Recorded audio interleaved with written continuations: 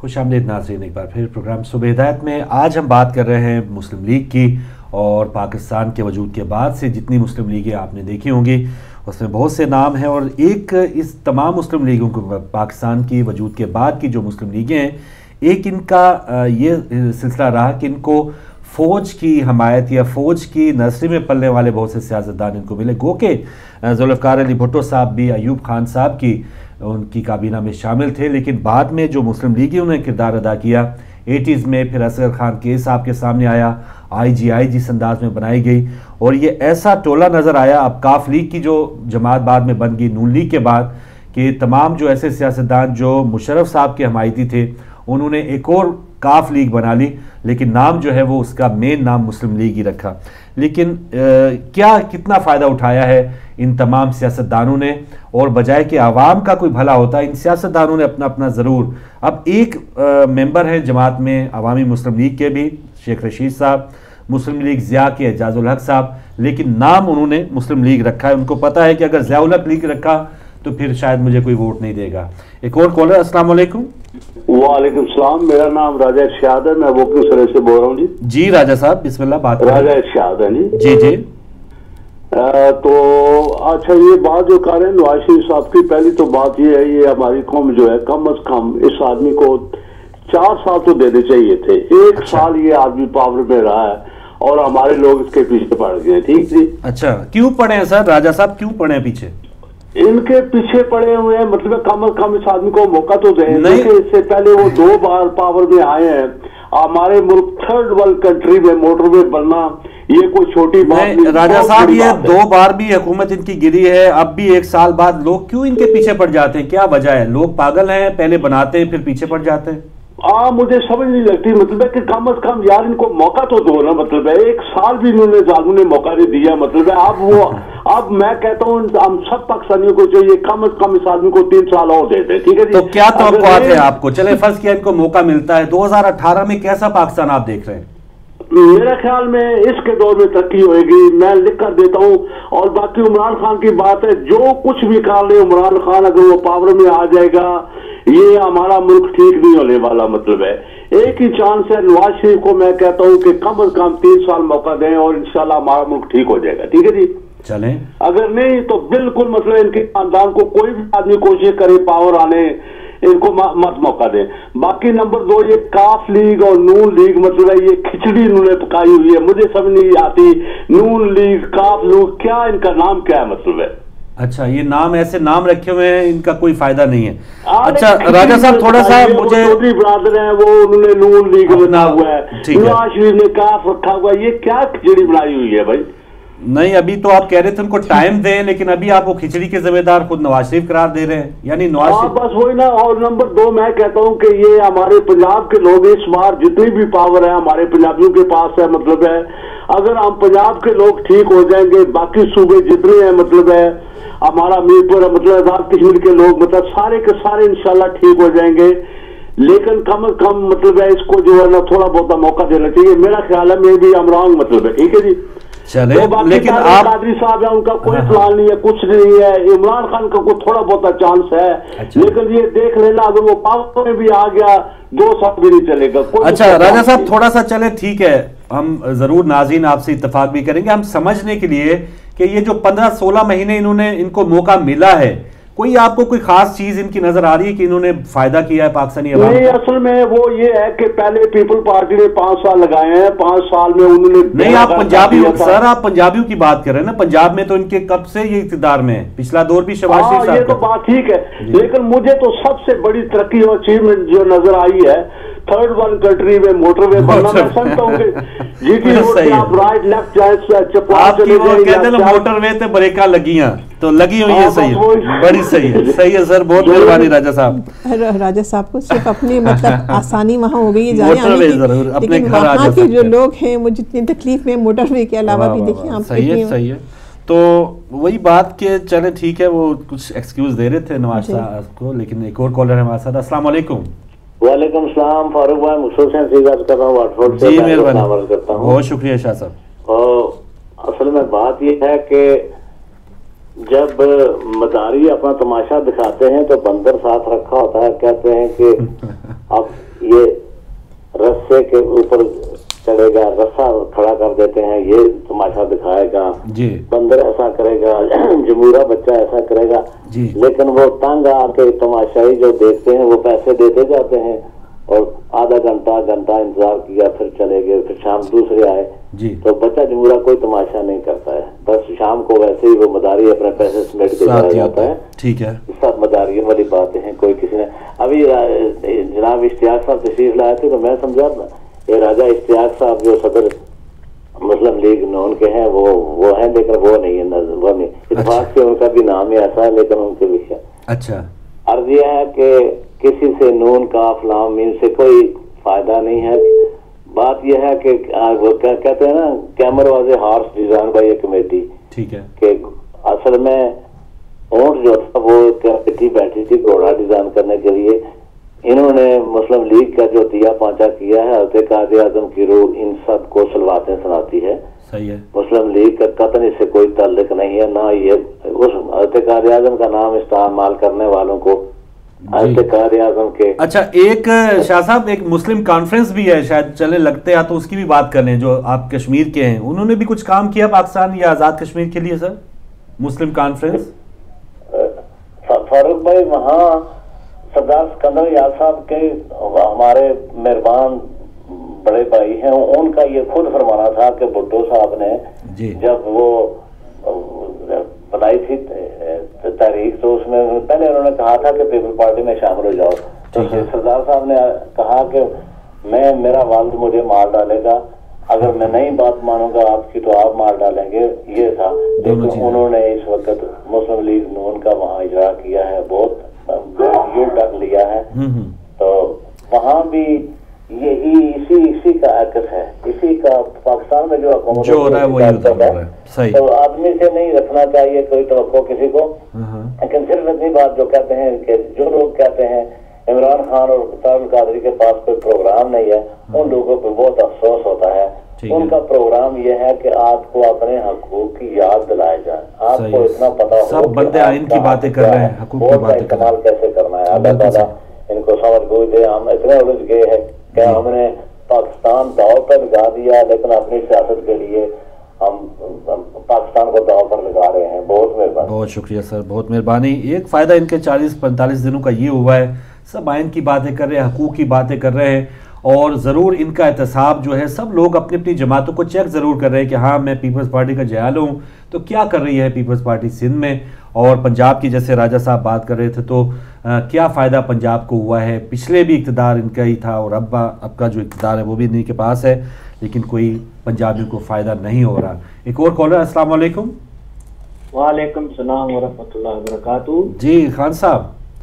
हाँ जी अजहर खान मैं बोल रहा खान हूँ। साहब। मैं तो मैं तो ये बोल रहा हूँ कि ये हवाम को तो देंगे पाकिस्तान मगर वो कैसे देंगे? खंडर बना के देंगे। अच्छा तो अवाम को चाहिए कि उस हालत से पहले पहले इनसे ले लें तो मेहरबानी करके।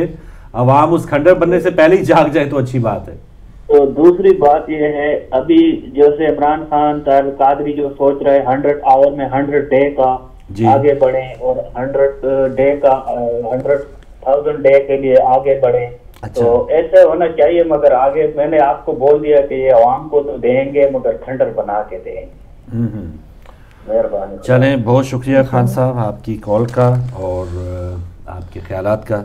जी, और हम बात कर रहे हैं मुस्लिम मुस्लिम लीगों की और मुस्लिम लीग जो है ज़्यादातर इकतदार में जो रही है वो मुस्लिम लीग नवाज़ ही रही है, बाकी काफ लीग रही है और काफ लीग की जो क्यादत है उससे हम सब वाकिफ़ हैं इस वक्त और ऐसी मौके पर काफ लीग का इलाहाक हो गया इतिहाद हो गया पिछली बार जब पीपल्स पार्टी के साथ नायब वज़ी अजम परवेज़ इलाही साहब बन गए।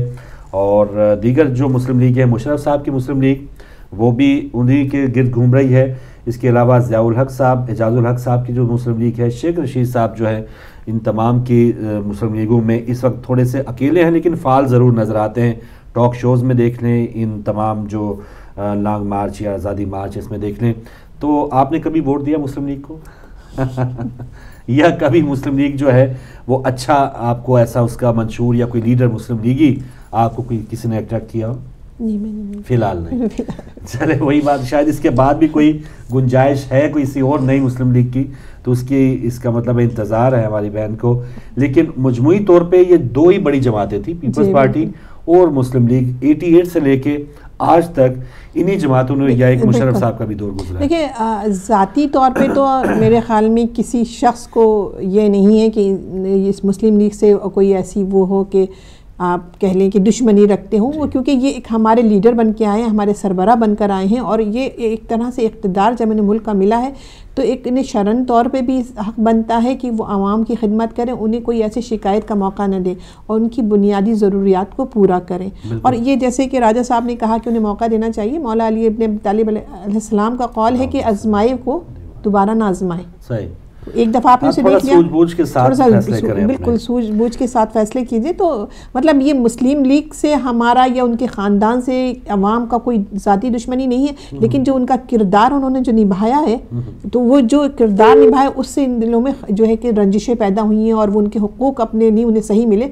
और ये एक अवाम का हक़ है कि उसके हक़ को पूरा किया जाए उसको हकूक़ दिए जाएँ। तो ज़ाहिर है कि ये ऐसी कामें उन्होंने की हैं कुछ अपने मतलब सिर्फ़ अपनी ही कहते हैं ना ज़ात की परस्ती करते करते रहे अपने खानदान को परमान चढ़ाते रहे हम्म। तो उससे लोगों में ये जहन जो है ना देखे ना इससे जात से और क्या इससे बड़ी बात होगी कि अपने नाम से उन्होंने मुस्लिम लीग नवाज़ यानी ये कायद अजम या उस, उसका ताल्लुक नहीं है उस उन्नीस वाली मुस्लिम लीग से ये नवाज़ की या नवाज़ शरीफ साहब की मुस्लिम लीग है और उनके ख़ानदान की मुस्लिम लीग है। यानी अपनी जो छाप है उन्होंने इसमें रखी अब ये इसमें क्या है? देखिए इसमें या पीपल्स पार्टी हो कि नवाज़ हो मतलब अगर हम देखते हैं हिस्ट्री तो कोई ना कोई अपने ख़ानदान का उनका एक रस्म है जो चला चली आ रही है कि वो अस्सलाम वालेकुम जी मोहतरम जनाब मौलाना मलिक याकूब साहब वालेकुम पाकिस्तान की पार्टियों का ज़िक्र करना शुरू कर दिया। जी। असल में बात यह कायद अलामा इकबाल मरहूम ने फरमाया था कि कौमें शायरों के जहनों में जन्म देती हैं और लीडरों की बाहों में दम तोड़ देती है। हम्म। मुस्लिम लीग उस वक्त तक मुस्लिम लीग थी जब तक इसका लीडर कायद आज़म मोहम्मद अली जना था। जिसने अपने नौजवान जिसम से कौम में वो रूप थी कि वो एक शोले जवाला बन गई और उसने अंग्रेज़ों और हिंदुस्तान की कांग्रेस से मुकाबला करके एक मुल्क हासिल कर लिया। उसके किरदार की एक झलक मैं दिखाऊँगा कि इलेक्शन कैंपेन के दिनों में गांधी ने अभी आज़ादी नहीं हुई थी ठीक है। काजाजम अलरामत से मिलने का वक्त मांगा ठीक है। और इतफाक से उस दिन इक्कीस रमज़ान था। काजाजम अलरामत ने फरमाया कि आज छोड़ कर दिन मैं किसी लीडर से नहीं मिलूँगा। वाह वाह ये बात जब अखबार में छपी हम्म। तो एक मुतासब मुसलमान ने काजाजम को खत लिखा कि मुझे नहीं पता था कि आप इतने मुतासब शिया हैं। अच्छा। तो अलामा जनाब काजाजम ने उसको जवाब में खत लिखा कि आप मुझे नहीं पता था कि आप इतने मुतसब मुसलमान हैं। हाँ, आप हाँ। मुझे वोट न दे गांधी को दे दे।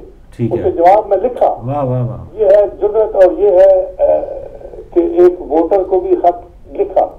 और उसके बाद कई दफ़ा ऐसा हुआ कि ऐसे मकाम है कि सौ का दिन होता था तो आप बहुत बड़े दावतों को ठकरा दिया करते थे। लेकिन अफसोस ये है कि काज आज़म के बाद मुस्लिम लीग लोगों ने घरों की लॉजी बना दी, किसी ने कन्वेंशन लीग बना ली किसी ने मुस्लिम लीग काउंसिल बना ली। ये सब उन्होंने बंटवारे कर लिए। और जहाँ तक उसके बाद पीपल पार्टी का तले क्या। उसके भी ये है कि भुट्टो साहब बहुत काबल आदमी थे लेकिन बस ये है कि वो अपने अल्फाज पर कायम नहीं रह सके। उन्हें ये खबर तक नहीं कि मुझे ये जो पजीराई मिली है वो किस वजह से मिली है। बहुत से ऐसे वाकत है जो मैं आप बयान कर सकता हूँ लेकिन अफसोस यह कि वक्त नहीं है। उसको जो वोट मिला वो जुल्फकार अली नाम से मिला और जनाबे अली मुतला की तलवार जुल्फकार हैदरी के उस निशान से मिला। सही। वो लोग जिन्होंने कभी ज़िंदगी भर बात नहीं की थी मजदूर लोग थे वो भी कहा पीपल पार्टी को। एक ही तो अच्छा आदमी निकला जिसने अच्छा नाम है और अपना निशान बहुत रखा है मौला कायनात अमीर की जुल्फकार पर। हम्म। लेकिन अफसोस यह कि उसे खुद भी एहसास नहीं था हम्म। कि मैं क्या हूँ। और उसने उम्र खबाइश में वो बस जो बात थी बात करता था अकलमंद था जहीन था हम्म। लेकिन उसे टीम भी नहीं मिल सकी और उससे कोई ऐसा इंसान नहीं मिल सका जो उसे राय रास्त पर ले उसके इलम का उसके तजर्बे का फ़ायदा उठा सकता नतीजा ये हुआ कि वो अपने हाथों ही अपने हाथों ही शिकस्त खा गया और जिद और अना की खातर उसने अब जान दे दी लेकिन मुल्क के लिए कुछ अब देखे उसके बाद बेनजीर भुट्टो आई कुछ आए लेकिन अफसोस ये है कि किसी लीडर ने भी आवाम की खिदमत के लिए आवाम के लिए कोई काम नहीं किया भुट- बेनजीर भुट्टो यहाँ ब्लैक बर्न में भी आई थी। मैंने उसे एक शेर सुनाया था कि फैसले कुर्सी नशी करे आफतें आदमी पे आती हैं। मैंने कहा आप कुछ चीज़ गलत फैसले करते हैं। हाँ नुकसान आवाम मुसीबत में है। और सबसे बड़ी जो मुसीबत इस वक्त पाकिस्तान में है वो जहालत है। अगर जब तक लिटरेसी रेट 80 परसेंट से ऊपर नहीं जाएगा। मुल्क के पाकिस्तान में तरक्की नहीं आ सकती। अपनी कौम के मतलब देखें तो मुफ्ती जाफ़र हुसैन अल्लाह मकाम और नवर मरकज हो जब तहरीक नफाज जाफिया के आ, सदर थे तो उन्होंने अपनी कौम को इस कदर ज़िंदा कर दिया था कि जियाउल हक जैसा डिक्टेटर झुकने पर मजबूर हो गया। लेकिन अफसोस ये है कि इस वक्त कौमी धारे में कोई ऐसा लीडर नज़र नहीं आता जो कौम की तकदीर बदल सके और आवाम को अपने साथ मिला सके। हाँ इमरान खान और काजी साहब को ये क्रेडिट सूझ जाता है कि उन्होंने कौम को जगा दिया है और कौम जो पढ़े लिखे लोग हैं वो ये सोचने पर मजबूर है कि हम क्यों लुट रहे हैं। और वो इन अज़ीज़ अब इनकलाब ऐसा आएगा कि लोग अपने हकूक मांगेंगे। बस दुआ ये करो कि अल्लाह इस कौम को एक अच्छा लीडर अदा कर दे जो बाकिरदार हो जिसके ज़ाहिर और बातिन में कोई तजाद न हो। इसके अलावा और कोई सबील नज़र नहीं आती। और जब तक इख्तलाफात नहीं खत्म होंगे और खास तौर पर तफरकाबाजी। सजर है फिर का आ रहा ही तासुब है समर उसका। हाँ। ये वो फल है जो जन्नत से निकलवाता है आदम को। इस तफरकाबाजी ने मिलत मुस्लिमा को तबाह बर्बाद कर दिया और इफरीत की तरह खा रहा है। लेकिन अफसोस ये है कि उलमाए आलाम जो सुन्नत जमात है सब जितने भी इस्लाम का दामन हाथ पर रखे हुए हैं उलमा बने हुए हैं उन्हें ये एहसास तक नहीं कि हम कौम को किस राह पर ले जा रहे हैं। बिल्कुल सही। अल्लाह का फरमान है वासिम ज़मीन वला तफर्रकू। लेकिन अफसोस ये है कि उसकी मुख्तलिफ़ तावीलें कर रहे हैं। और अल्लाह की जो कुरान की तावीलें करते हैं खुद बदलते नहीं कुरान को बदल देते हैं। हुए किस दर्जा फकीहान हरम बेतौफीक वाह। ये फकीहान हरम है इसने तमाम मिलत इस्लामिया को इंतशार से दो चार कर रखा है। जब तक ये अल्लाह के हुक्म और फरमान मुस्तफ़ा के मुताबिक दरवाजे आलमैद पर नहीं आएँगे इनकी निजात मुमकिन नहीं। अल्लाह ताला से दुआ है अल्लाह ताला मुसलमानों को अपना तौर। जजाकल्लाह जनाब मौलाना मलिक याकूब साहब बहुत शुक्रिया। और जैसे अलामा इकबाल अलैह के खुद बदलते नहीं कुरान को बदल देते हैं तो फिर ये तो कुरान को बदलने वाले लोग जो मुस्लिम लीग को बदलना फिर तो दाएँ बाएँ हाथ का उनका काम होगा। ये तो कोई बड़ा उनका जुर्म नहीं है। जब इतने बड़े वो इतने बड़े काम वो कर सकते हैं। अस्सलाम वालेकुम। वालेकुम सलाम फरूक भाई एक मिनट के लिए हाजिर हूँ। आपके लिए एक सवाल है उसका जवाब आपने देना है। जी नकवी साहब। तो सबसे पहले मैं एक छोटी सी बात ये करूँगा कि अभी बात कर रहे थे कि वो भुट्टो की बात कर रहे थे तो भुट्टो के वो आप बात भूल गए हैं कि मुफ्ती महमूद जैसे और शाह नूरानी जैसे लोग जो मर्जियों का कोई फैसला ना कर पाए। हाँ। तो ये भुट्टो ही था जिसने खत्म नबूवत का फैसला किया। और है। ये भुट्टो की ज़रूरत थी कि जिसने सब कुछ किया ये सब लोग चीज़ भूल जाते हैं। और वो चीज़ याद रखते हैं जो एक मामूली बात हो और ये चीज़ें जो इतना बड़ा काम कर गया वो सब लोग भूल जाते हैं। ये अपने अपने जहन की बात है अपने अपने दिल की बात है। तो अब मैं आपसे एक सवाल करना चाहता हूँ फरूक भाई मुझे ये बताएँ आज कि जब पीपल पार्टी आती है तो अदलिया भी आस्तीने अपनी आप और उठा लेती है। और फौज भी उठा लेती है और जो आपकी महकमे हैं गवर्नमेंट के वो भी सारे अपने आस्तीने ऊपर उठा लेते हैं। और जब मुस्लिम लीग या कोई और पार्टी आती है तो वो आस्तीने भी नीचे हो जाती हैं सर भी नीचे हो जाते हैं और जज हाथ बाँध के पीछे चल पड़ते हैं और फैसले भी मुस्लिम लीग के हक में दे देते हैं। इसकी क्या वजह है कि पीपल पार्टी के साथ अदलिया की क्या दुश्मनी है और दूसरे लोगों की क्या दुश्मनी है? क्योंकि दो हमारे वज़ीर आज़म भी घर भेज दी लेकिन हमने अब हमने कानून की इज़्ज़त की सुप्रीम कोर्ट का एहतराम किया दो वज़ीर आज़म घर ले गए। हाँ। लेकिन आज क्या वजह है कि मुसा इतने लोग मर रहे हैं। भूखे मर रहे हैं धरने हो रहे हैं सुप्रीम कोर्ट भी खामोश है। कोई उसमें किसी किस्म का कोई सोमो मोटो नहीं है कुछ नहीं है। तो। ये क्या वजह है इसका मैं आपसे सवाल करता हूँ। ज़रूर नकवी साहब बड़ी मेहरबानी। आखिरी कॉलर है एमसीआर से उनसे बात कर लेते हैं। अस्सलाम वालेकुम शायद चले गए तो यहाँ से कोशिश करते हैं। अस्सलाम वालेकुम वालेकुम अस्सलाम व वबरकातुहू। जी हाँ जी क्या हाल है जनाब? ठीक हो? मोहम्मद नवाज़ बोल रहा हूँ स्पेन से।